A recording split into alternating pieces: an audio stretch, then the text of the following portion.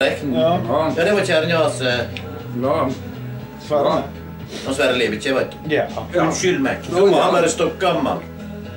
Nei, det er bare jeg. Hva- men det er 87 eller noe sånt. Ja, ja, ok. Det er noe bra.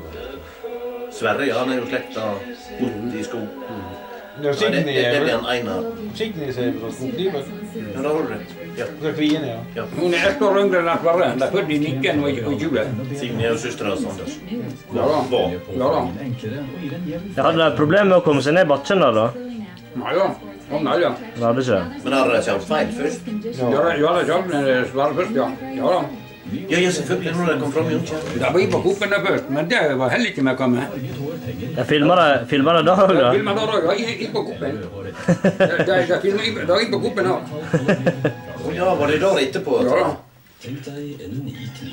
Det, det var ikke bare der før Ikke. Nei, nei, nei, før var det. Det, det, det, var, det var før det. Ja, da var ikke du med da? Nei. Selvfølgelig ikke.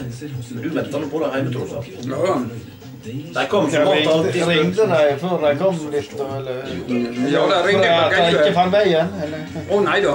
Og Signy har hun TV Norge da hun kom tak i dette. Det Ja, var ikke det for men eh, ja, vi så ligna på kvislekta. Ja, han ene det sitter i Norge. Ja, kan du tro.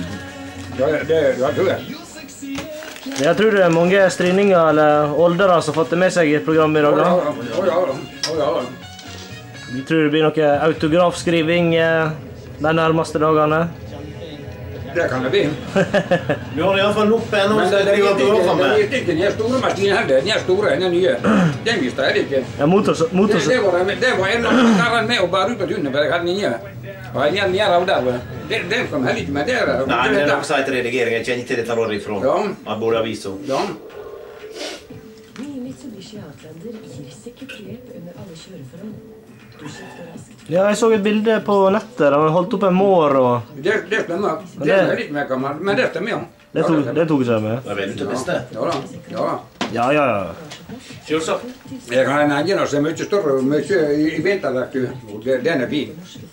Jeg har en engine som er enda finere enn den jeg viste da. Ja. Å ja da. Å Ja, da. dette var jo historiske greier.